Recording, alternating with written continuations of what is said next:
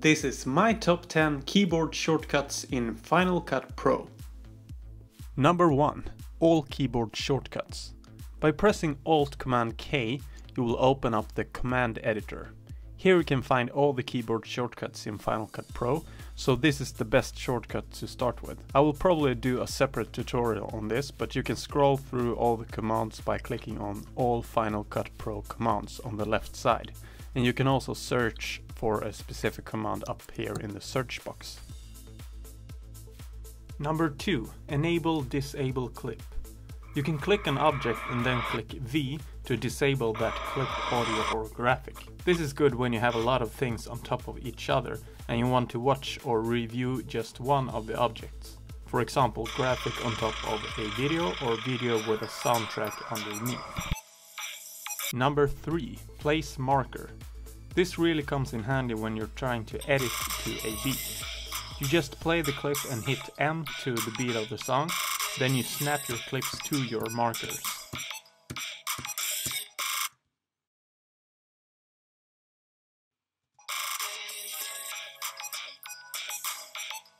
If you have skimming activated, the marker will be placed where your cursor is and not where your playhead is.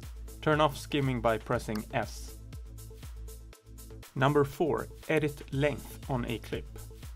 After pressing Ctrl D, you can type in the exact length you want the clip to have. For example, if you want it to be 3 seconds, type in 300 and enter for 3 seconds and 0 frames.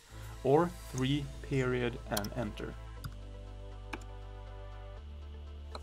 Number 5. Zoom to fit. Hold down Shift and press Z and the zooming in the timeline will adjust so you can see your whole project from start to finish. Number 6. Detach audio. If you for example want to make a J-cut, where the audio starts before the video, you can click Ctrl Alt S and then adjust only the video or only the audio. To turn it into one object again, you just do the same thing one more time. Ctrl Alt S. Number 7. Custom Speed. By pressing Ctrl Alt R, you can do a couple of things. Reverse the clip, change the speed or change the duration.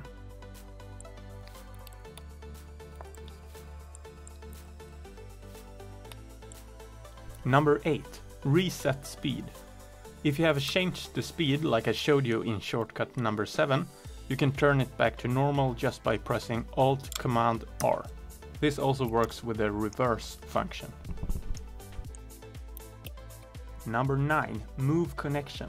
In Final Cut Pro everything is attached to something on the primary storyline. This clip is attached to the one underneath and this audio track is attached to this clip. If you want to change that, you just hold down Alt and Command and then click on anything that is not on the primary storyline. The object you click on will get a new spike exactly where your cursor is located when you're clicking. Number 10. Paste attributes. First you copy all the attributes from a specific clip by selecting it and pressing Command C. Then you paste the attributes you want by clicking on a new clip and then Shift Command V. Here you can choose one or more attributes and then pressing Paste. Thank you for watching this video, feel free to subscribe to my YouTube channel and let me know in the comment section below what you want me to cover in the next video. Stay creative and I'll see you soon.